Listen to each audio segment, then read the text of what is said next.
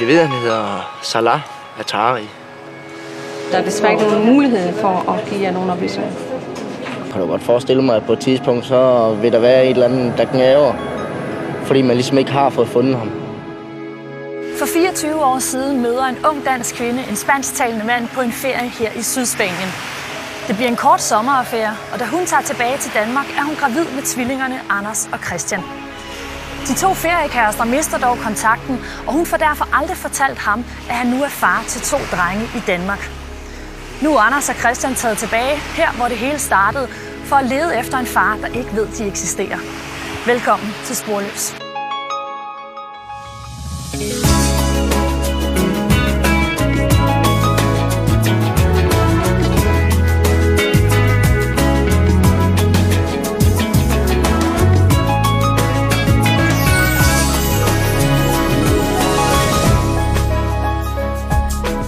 Vi befinder os på den spanske solkyst nær Malaga i feriebyen Fuengirola. I mange år har området været et stort turistmål, og mange danskere har tilbragt deres ferier her. Således også Anders og Christians mor, der i 1980'erne møder en ung marokkansk mand på en ferie her i byen. Nu er vi jo så tilbage på stranden her i Fuengirola. Det var her, det hele startede, fordi det var her, jeres far og mor mødte hinanden. Ja. Hvorfor vil I gerne prøve at finde jeres far? Nok først og fremmest for at få noget afklaring på, øh, hvem vores far er, og hvor vi kommer fra. Nu er vi tvillinger, og vi har jo gået op og ned hinanden hele livet. Og vi har måske altid tænkt, at det kunne være skægt med en store bror, eller store ja. søster, eller en lille bror, eller en lille søster, et ja. eller andet. Anders og Christian er 23 år og fra Randers. Som mange andre tvillinger er de tæt forbundne.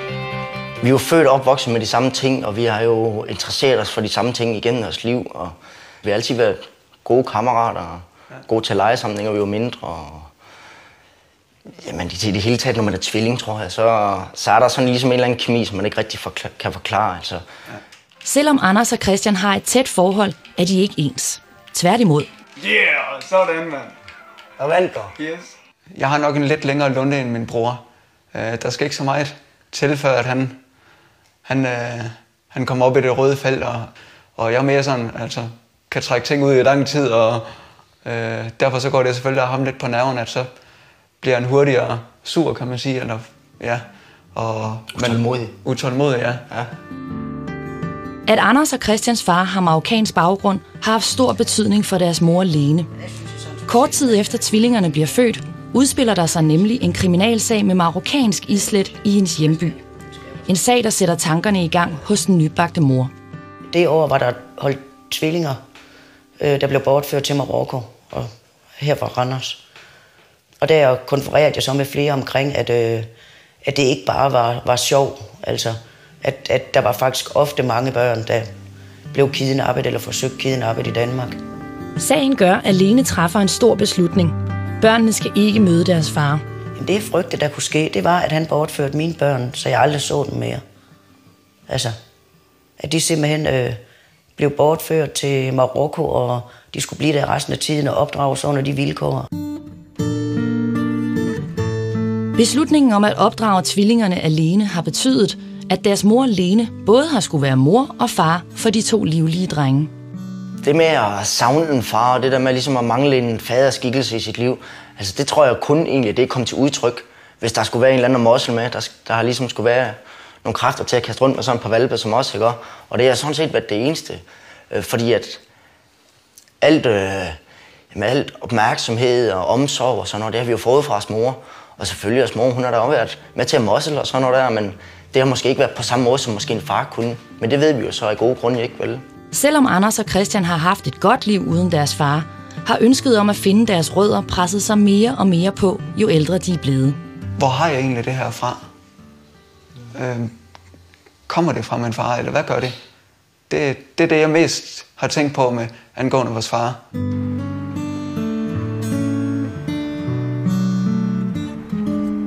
Jeg tror, at hvis vi får held til at finde os far, så vil vi øh, få et nyt grundlag at gå ud fra. Altså, vi vil måske finde nogle ting i os selv, som vi kan spejle i os far. Øhm, så jeg tror, det vil åbne noget helt nyt i vores liv. Altså, i det hele taget bare den måde, vi ser verden på. Mm.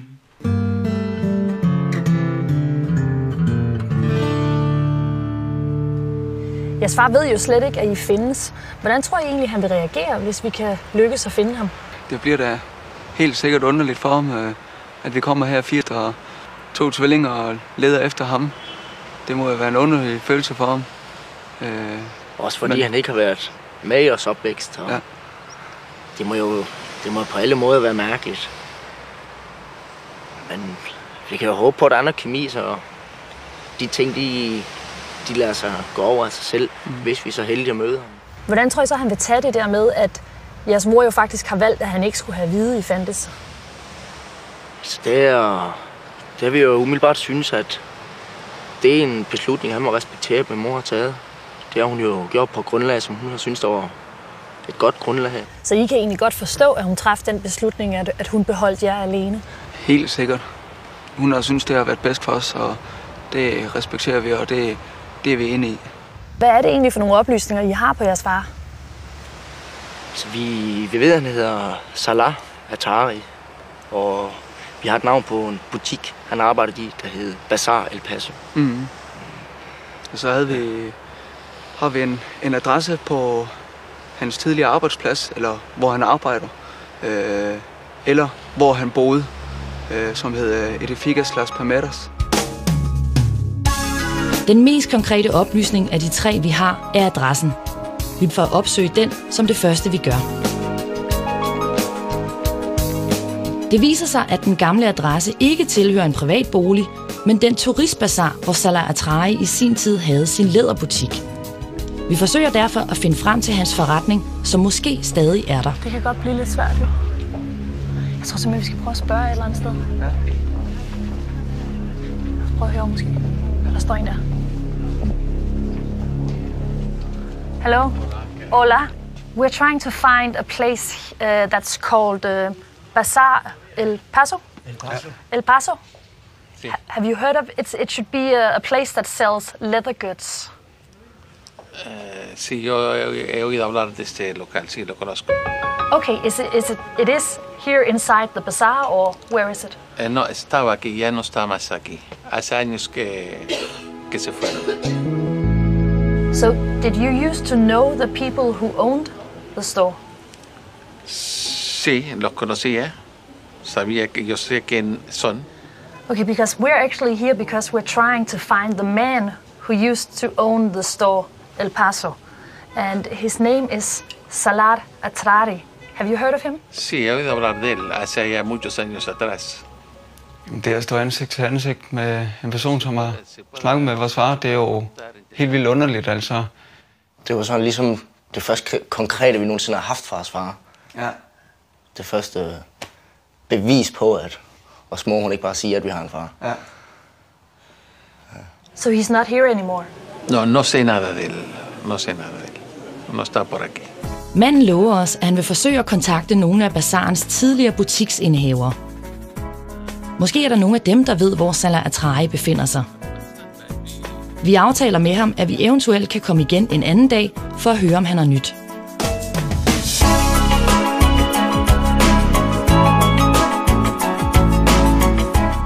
Da det jo langt fra er sikkert, at manden fra bazaren kan hjælpe, må vi prøve at opspore Salah Atrai på anden vis.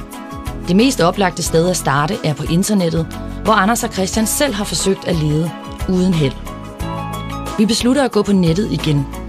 Der findes nemlig en telefonbog, som dækker hele Spanien, og den har Anders og Christian ikke prøvet. Hello. Hi. Hi. Do you have a computer that we can use? Yes. Yes? Uh, just one? Yeah. One computer. Um, number 14 in downstairs. 14? In downstairs. Downstairs. Thank you. You're welcome. Altså det, som svarer til, til den danske telefonbog, det hedder hernede Paginas Blancas. Og det er jo meget godt, at I måske lige at prøve at søge telefonbog og se, om, om jeres far står der, ikke? Jo. Se. skal vi søge her. Fornavn, det er jo Salah. Og efternavn, det er så Atrari.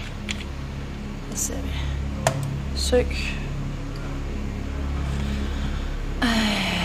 Det er vi kede af. Vi har ikke fundet noget for Salah Atrari. Mm. I Malaga. I Malaga. i Malaga. Skal vi prøve nogle af de andre, synes I? Det kunne Det kunne man da godt. Altså, der er jo rimelig mange, kan man sige, ikke? Jo. Ja, der er rigtig mange. Hvad skulle det være så? Madrid? Madrid.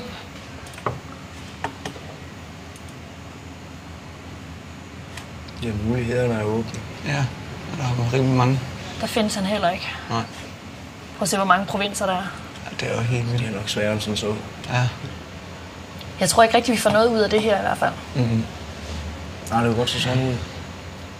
Det virker, altså det virker sært, at der slet ikke er noget som helst på det navn. Jeg tror, han lever livet måske lidt freelance. Og jamen, bekymrer sig måske ikke så meget om, hvad der foregår i hele verden. Men måske mere, at han har det godt. Hans omkreds har det godt. Det er helt surrealistisk at gå rundt ned i de her gader, hvor vi ved, at min mor hun har været for mange år siden. Og hun har haft en affære med min far. Og man tænker over, hvis man kommer til at stå ind i manden, hvad skulle man så gøre? Han ved jo ikke, hvordan vi ser ud. Og Altså, hvordan vi må reagere, det, det er simpelthen svært at forklare. Altså, hvad for nogle følelser det er, der spiller ind der, fordi at det vil ikke virke overbevisende, at der kommer sådan et par knejder hen og siger til ham, vi er dine børn.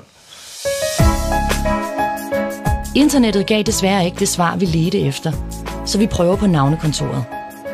Måske kan de hjælpe os med oplysninger om Salah Atraye. Can I help you? Yes, please. Uh, we're from Danish television and we're trying to find a Moroccan man here in, uh, in Spain. Mm-hmm. Is there someone we can talk to? Um, well, it depends. Uh, I should be in Danish. We have a, a lady that speaks Danish here. So Really? if you'd like to come into the office. Oh, thank you. Yes. Yes, thank you. Hej, Sa. Er det dig, der taler dansk? Ja, det er så. Hej, jeg hedder Louise. Dags, Annette Skov. Dags, Annette Skov. Anders Bak. Dags. Annette Skov. Hej. Ja, vi kommer fra Sporløs i Danmark. Jeg ved ikke, om du nogensinde har programmet. Jo, det har jeg. Jeg har jo dansk tv derhjemme, så jeg, jeg har set det nogle gange. Jeg, har, jeg kender dig. Nå, okay.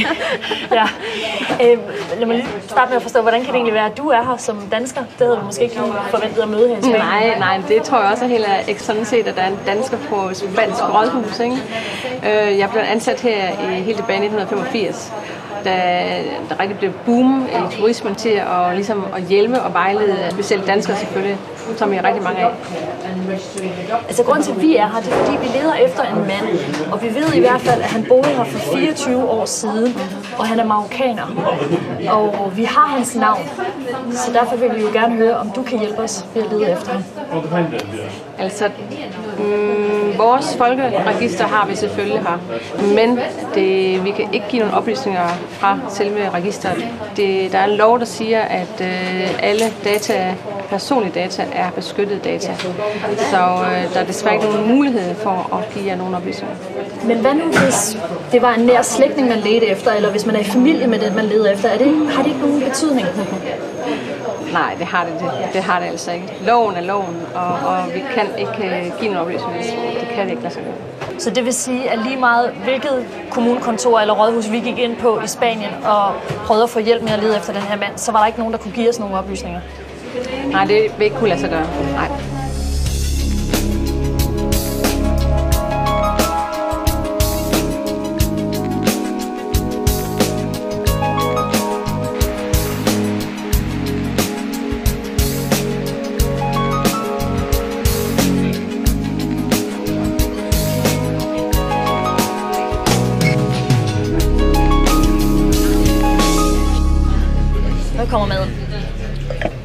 Mm, ser det ikke lækkert ud? Spændende. Nyt. Du er lidt skeptisk, Anders. Jeg kan godt Ja, høre det. det ser godt ud. Ja. Jeg prøver sådan et stykke skinke her. Det tror jeg er godt. Altså, jeres far er jo marokkaner. Marokko, er det, er det et land, der sådan har, har spillet nogen rolle for jer, mens I er vokset op, og sådan, mens I har gjort jer tanker om, om livet og verden i det hele taget? Jeg tror, når vi har hørt ordet Marokko, sådan, så har vi jo sådan været ret bevidste om, at vi er faktisk fra Marokko. Altså, vi er halv marokkanere. Har I egentlig fortalt folk sådan i jeres opvækst, at I er halv marokkaner? Er det noget, I har snakket med folk om? Jeg tror faktisk, at til helt unge dage, der, der var vi sådan lidt uh, påpasselige med at skille os for meget ud. Ja, altså jeg, jeg har faktisk aldrig sådan rigtig sagt det til nogen i de, i de tidlige år indtil 15 års alderen, 16, 17 års alderen måske.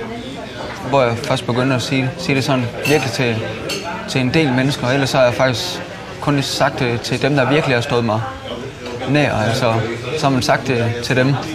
Du har nok også haft lidt, med, lidt nemmere ved at gemme det.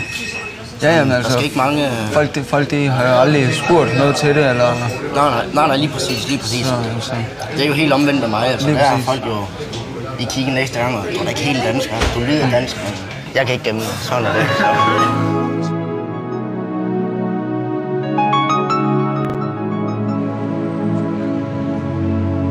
Vores bestræbelser på at finde Anders og Christians far gennem det spanske offentlige system har desværre ikke givet nogen resultater.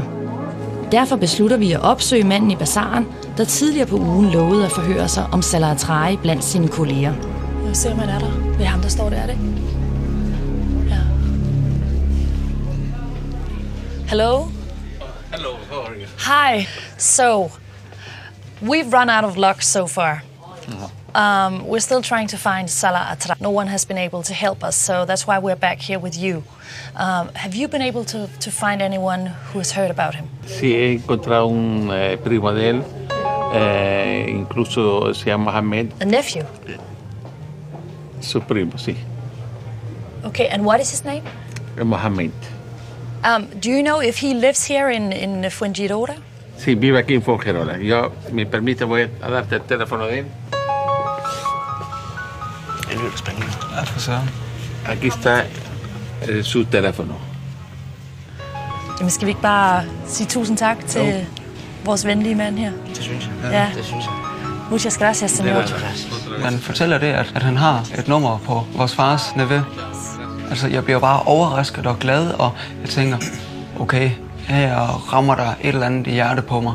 Det, det følger bare som et stort øjeblik, og også fordi, at vi har rendt panden mod muren så mange gange.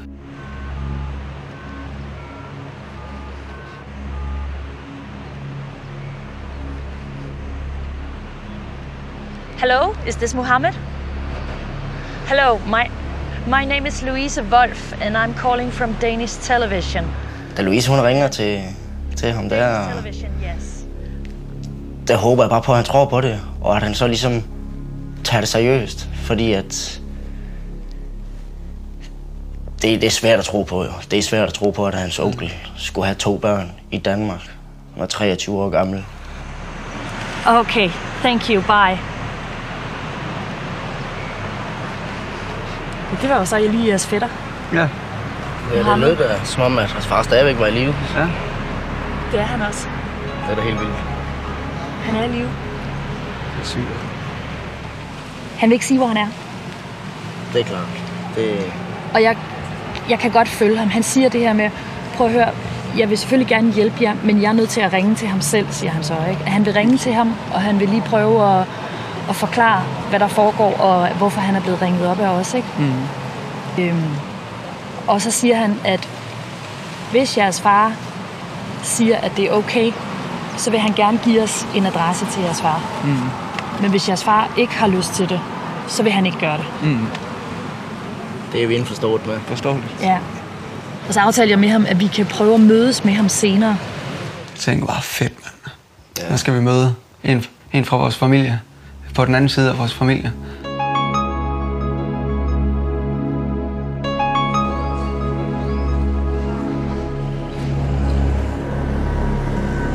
Kunne det ikke godt være ham på bænken? Det må være ham. Mohammed, right? Yes. Hi. Louise. Louise. Nice to meet you. Anders, Anders. Hej, Christian. Nice to meet you. Nice to meet you. Yes. As you figured out, these are the boys. This is Anders and Anders. Christian. yes. And you are Mohammed, Mohammed, yeah. Atradi? Atradi, yes. Yes? Yes, Atradi. We're so pleased that you agreed to meet with us. Big surprise. Okay. Oh, And uh, it look like you. Uh, yes. almost. Her face, Sam Salah and me. Really? Han siger så til mig, da vi har fået knus af ham, at jeg ligner min far helt vildt. Og jeg har selvfølgelig set på billeder, at det er nok rigtigt nok og alt det her. Men jeg har aldrig i mit liv lignet nogen før. Øhm, det er bare helt underligt, der skal være en eller anden, som ligner mig. as I said before, we are really pleased that you agreed to meet us because Yeah. we're here because we're trying to find Salah. And, um, well, of course, first of all, let me ask have you talked to Salah? Salah, I talked to him, but Salah no he. Salah uh, live in Belgium. In What? In what? In Belgium.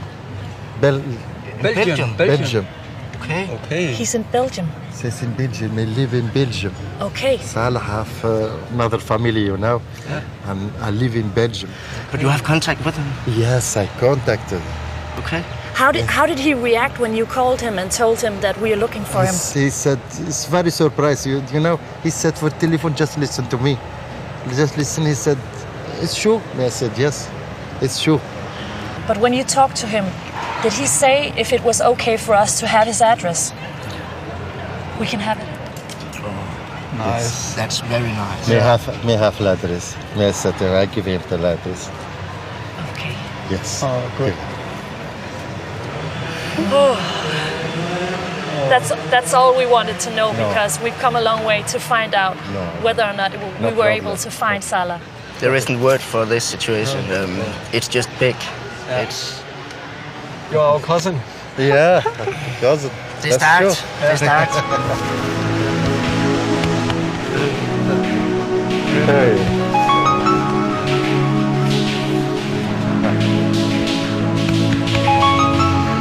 Family now.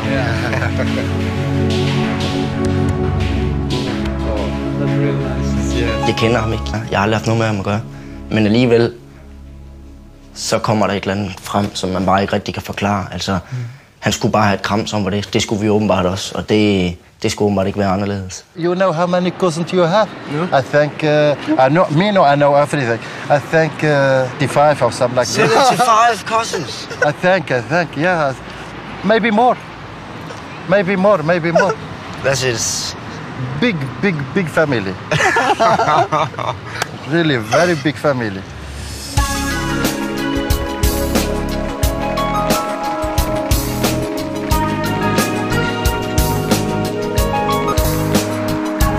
Anders og Christians far bor i Antwerpen i Belgien. En by, der er kendt som hjemsted for handlen med diamanter. En handel, der gennem historien har været varetaget af jødiske købmænd. Efter at have sat Anders og Christian af på hotellet, tager jeg hen til adressen.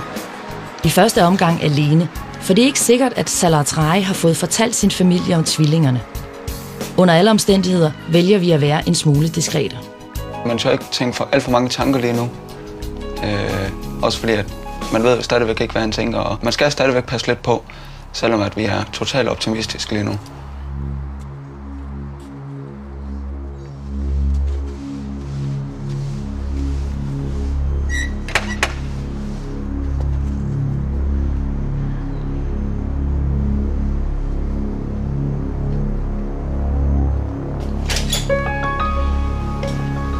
Hello. Hello. You are Salah Atrari, yeah? Yes. Hello, my name is Louise. Hello. I'm from Danish television.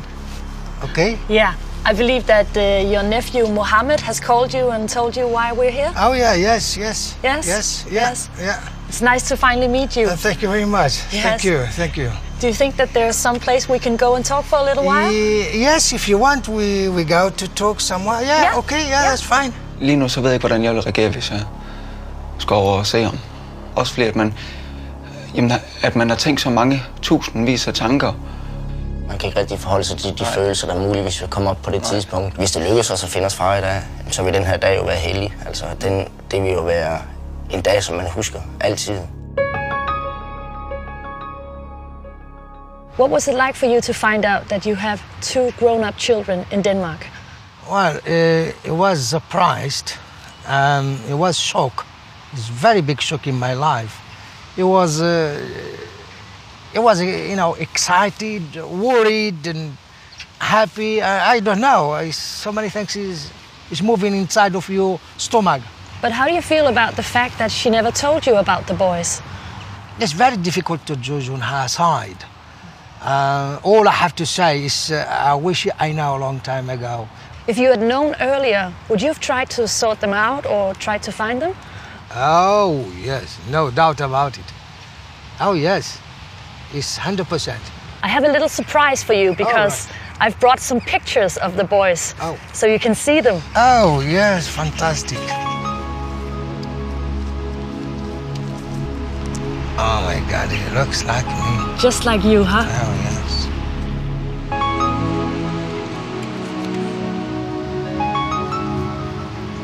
Oh my God. So you see like the me. resemblance? He looks like me. It's just like you. Yes, Yes. It's uh, uh, very difficult, you know. I can't believe it. Oh, he looks like me. I can't believe it. If you feel up for it, then I will go and get the boys and we'll come back here and meet you. Yes, please. Yes, yes, Yeah. yes. You're ready? Yeah, yeah I'm ready. Yeah. Hej med jer. Hej. Nå, har det været hårdt at vente? Ja, det må man da sige. Er I spændte? Ja. Det er vi. Ja. Ved I, hvem jeg lige har talt med? Vores far. Ja. Ja. Ja, ja. Hvad sagde han? Jamen, han var rigtig glad. Og altså, mildest talt er han jo noget overrasket over at have fået den her nyhed, ikke? Og han vil selvfølgelig rigtig gerne møde jer. Fedt nok. Yeah. Fedt nok. Er I klar til det? Ja, helt vildt. Helt sikkert. For han er faktisk ikke så langt herfra, så øh, hvis I føler jer nogenlunde klar, så synes jeg bare, vi skal komme over og møde ham. Ja. ja, lad os da komme afsted. Ja. Ja.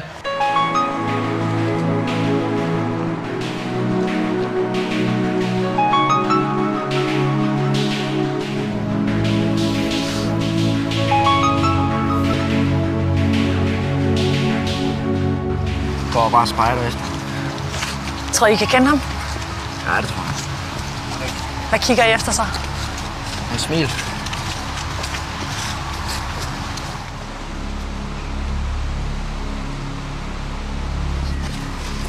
Kan I se den mand, der rejser sig? Ja. Det er bare... Ja.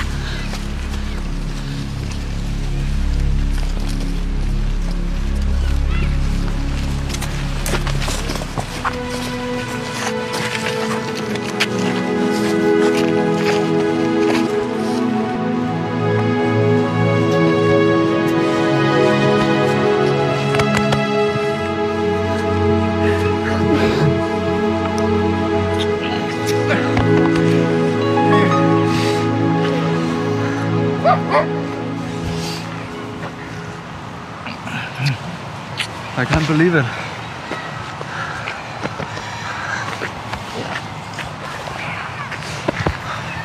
Glad to have you both. Oh, thank you. You too. I'm glad to have you both. I love you. I love you too.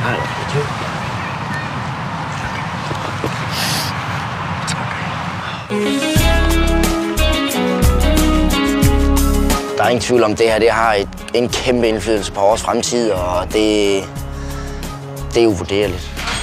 Udover deres far har Anders og Christian også fået seks mindre søskende og en kæmpe flok af fædre og kusiner i Spanien og Marokko.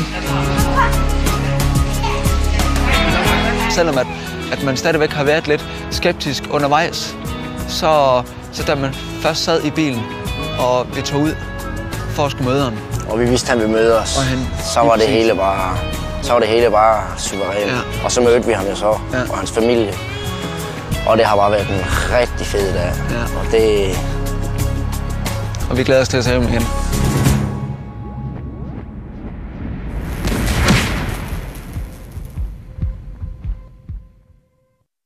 Lykkes at finde ham. Det bliver da helt sikkert underligt for ham, øh, at vi kommer her fire og to tvillinger og leder efter ham. Det må jo være en underlig følelse for ham.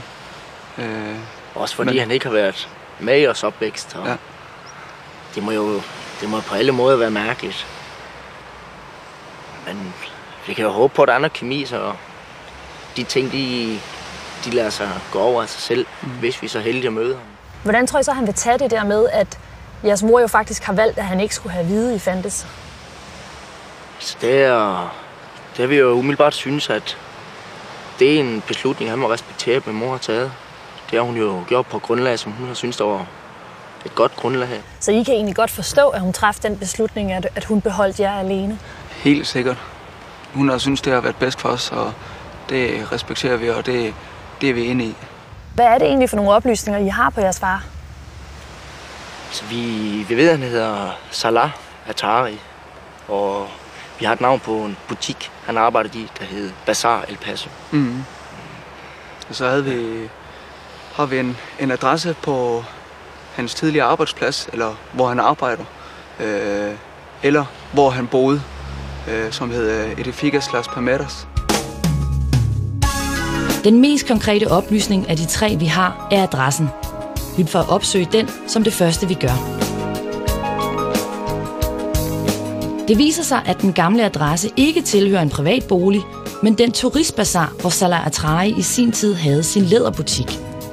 Vi forsøger derfor at finde frem til hans forretning, som Vi ved, at han hedder Salah Atari.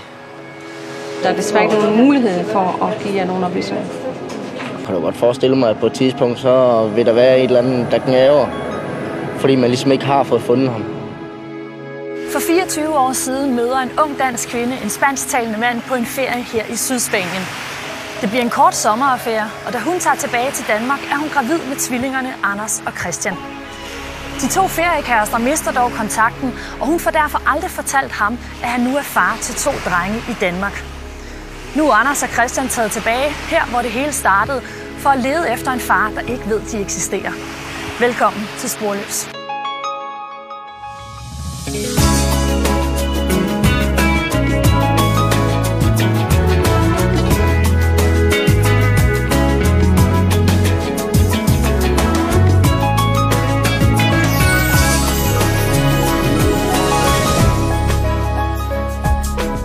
Vi befinder os på den spanske solkyst nær Malaga i feriebyen Fuengirola.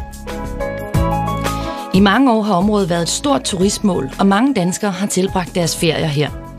Således også Anders og Christians mor, der i 1980'erne møder en ung marokkansk mand på en ferie her i byen.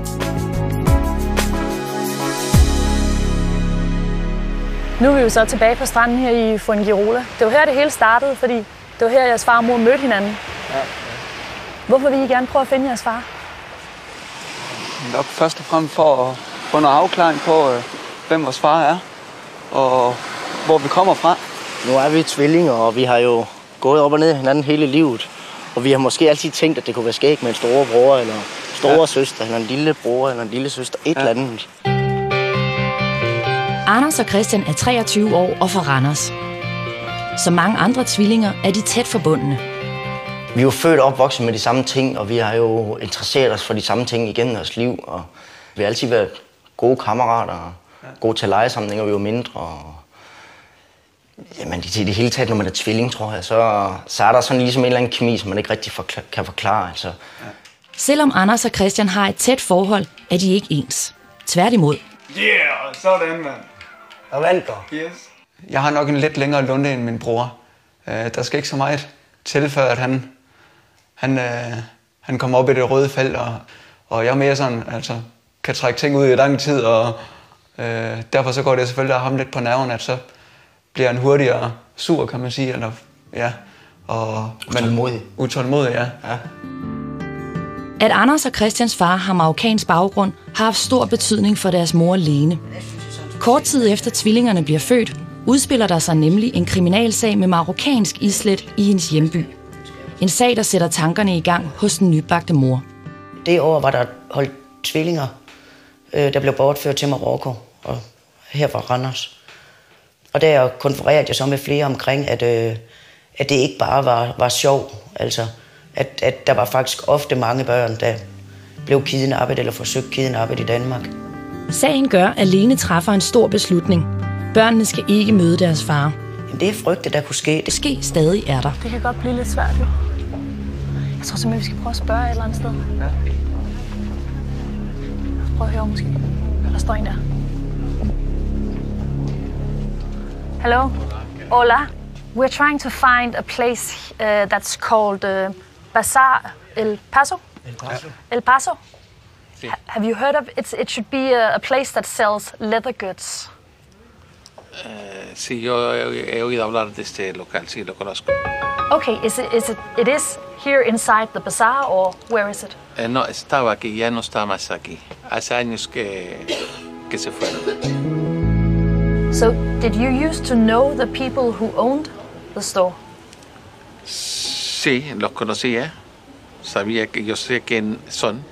Okay, because we're actually here because we're trying to find the man who used to own the store El Paso.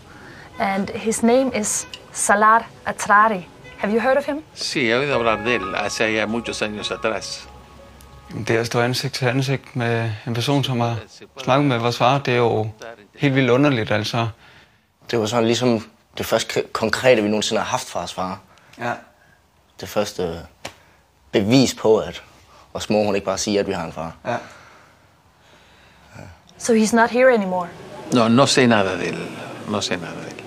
No está por aquí. Manden lover os, at han vil forsøge at kontakte nogle af bazarens tidligere butiksindehavere. Måske er der nogle af dem, der ved, hvor Salah Atrai befinder sig. Vi aftaler med ham, at vi eventuelt kan komme igen en anden dag for at høre, om han har nyt. Det var, at han bortførte mine børn, så jeg aldrig så dem mere.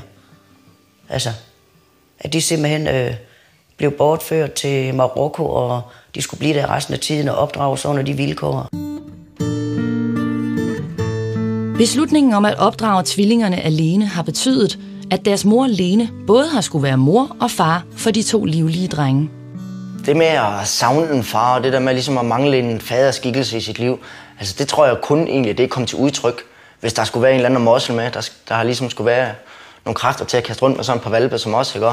Og det har sådan set været det eneste, øh, fordi at alt, øh, jamen alt opmærksomhed og omsorg og sådan noget, det har vi jo fået fra os mor. Og selvfølgelig, vores mor, hun har da også været med til at mossel og sådan noget der, men det har måske ikke været på samme måde, som måske en far kunne. Men det ved vi jo så af gode grunde ikke, vel? Selvom Anders og Christian har haft et godt liv uden deres far, har ønsket om at finde deres rødder presset sig mere og mere på, jo ældre de er blevet. Hvor har jeg egentlig det her fra? Øhm, kommer det fra min far, eller hvad gør det? det? Det er det, jeg mest har tænkt på med angående vores far.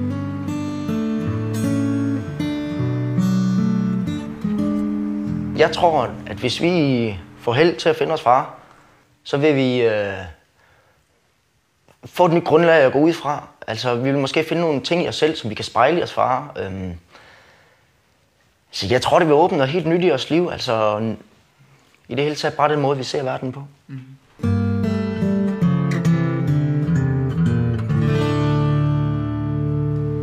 Jeres far ved jo slet ikke, at I findes. Hvordan tror I egentlig, han vil reagere, hvis vi kan